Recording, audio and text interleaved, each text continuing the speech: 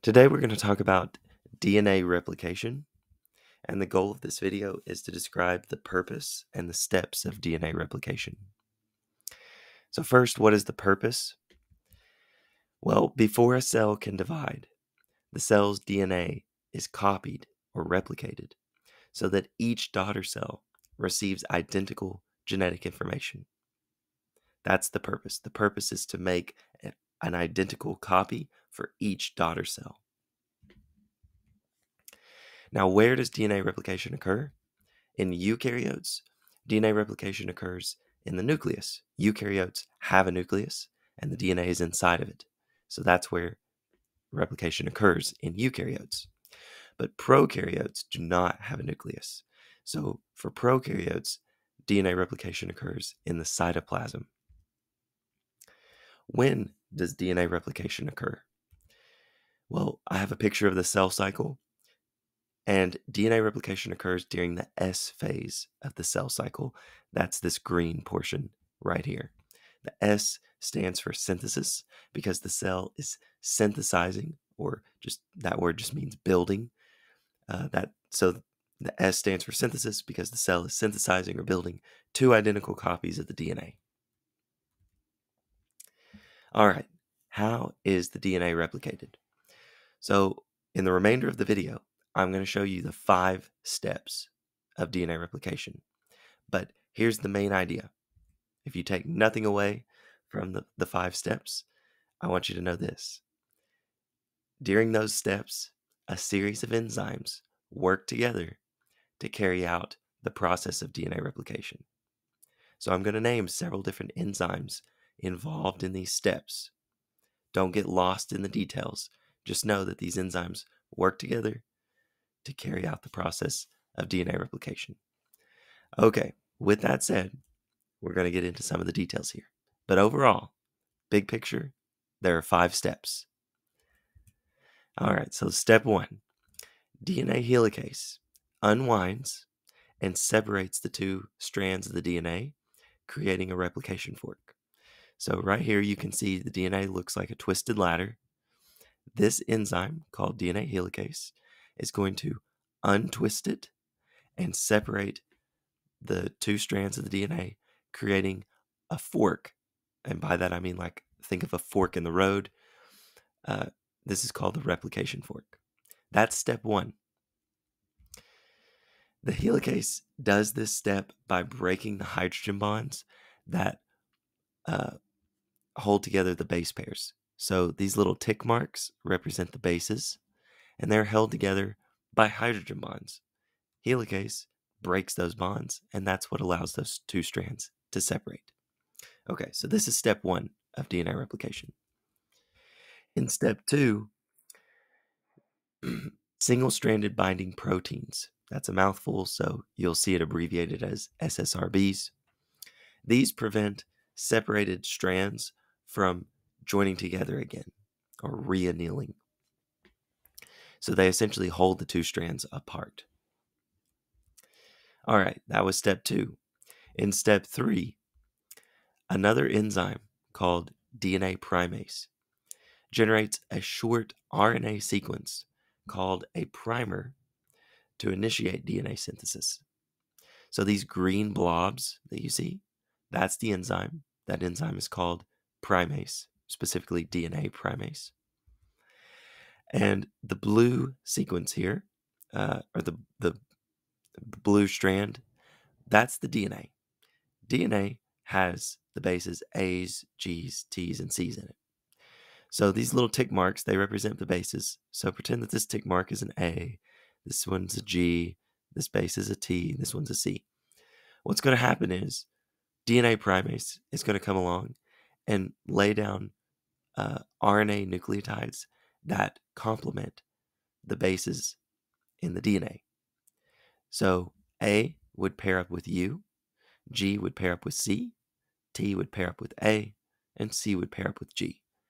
This sequence right here, U, C, A, G, would be my RNA uh, primer. All right. So, step number four DNA polymerase 3 We name it that because there's more than one DNA polymerase. This is another enzyme. DNA polymerase 3 builds a new strand moving in the 5' to 3' direction by joining nucleotides together. So, this circle that you see, that represents the enzyme DNA polymerase 3. And you can see in the picture that it's adding these red uh, pieces. Those represent nucleotides. You'll notice also that the DNA polymerase 3 is moving in a certain direction. So when it's moving um, toward the replication fork, it's moving uh, in the 5' to 3' direction. This one down here is also moving in the 5' to 3' direction, but that one's moving away from the replication fork. Remember, I've used this analogy in a previous video. DNA is anti parallel, like a highway. So essentially, the DNA polymerase 3 is driving in this direction on this side of the DNA on, of the DNA, and it's driving in the opposite direction on the other side of the DNA. Okay, now one thing you'll I'll, I expect you to know how to do is uh, determine the complementary strand that DNA polymerase 3 is going to build when you're given the sequence of bases. So let's uh, do an example here. Say I give you a piece of DNA, A, G, C, C, T, G, T, A. That's the sequence of bases in your DNA. And I want you to make a complementary strand of that. So DNA polymerase 3 is going to build a complementary strand. And it's going to do that by adding nucleotides that complement those bases. So here's where you use your base pairing rules. Remember, A always pairs with T, and G pairs with C. So as DNA polymerase uh, adds bases, it's going to move in the 5' to 3' direction. So um, you're going to put a T right here because T pairs with A. You're going to put a C here next because C pairs with G. And on we go. Next is going to be a G, then a C, I'm sorry, then another G, then an A, C, A, E. You got to make sure that the base that it's paired with is its complement using your base pairing rules. A's pairs with T's, G's pair with C's. And again, this new strand that we built, that's called a complementary strand. It's complementary to the original strand that we started with. Okay, so that was step number four of DNA replication. Remember, I told you there were five. Um, but before we get to that, those the fifth and final step, um, the leading strand is synthesized toward the replication fork, and the lagging strand is synthesized away from the replication fork. So notice we're building a uh, a strand of DNA here at the top. We're also building one here at the bottom the strand at the top is being is being built toward the replication fork, so that's why it's the leading strand. This uh, strand at the bottom is being built away from the replication fork, so that's why it's called the lagging strand. When you look at the lagging strand, you'll notice that um, it's not continuous. It's made in like little chunks. So the, since the lagging strand is synthesized away from the replication fork, it contains these fragments.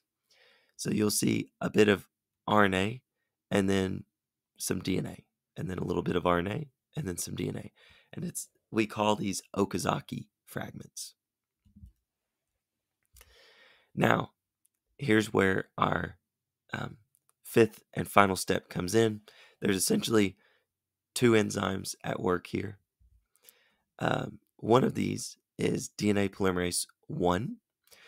It's going to remove the RNA primers on the lagging strand, and it's going to replace them with DNA nucleotides. And once RNA, I'm sorry, once DNA polymerase 1 does that, and that RNA is removed and it gets replaced with DNA, then ligase is going to come in, DNA ligase, and it's just going to join together the Okazaki fragments. It's ligase is kind of like the glue. It comes in at the end and glues together these fragments so that you have two uh, continuous strands. So by the end, big picture now, to sum up, we started with just one strand of DNA, but it was unzipped and uh, complementary strands were built. And so you end up with, you though you started with one piece of DNA, you end up with two uh, identical copies of the DNA. Um, and so I want to finish up by talking about the kind of replication that happened. This type of replication is called semi conservative replication because each resulting DNA molecule is made of one parent strand, that's the blue parts, and one new daughter strand, that's the red parts. So look at the name. You see conservative in the name. Conservative means we conserved something. So the blue was conserved, but it wasn't uh, completely conserved. It was only partially or semi conserved because we had to, um, each uh, daughter strand isn't completely blue. Instead, it's only partly blue. The other part is red. So that's where the name semi conservative replication comes from.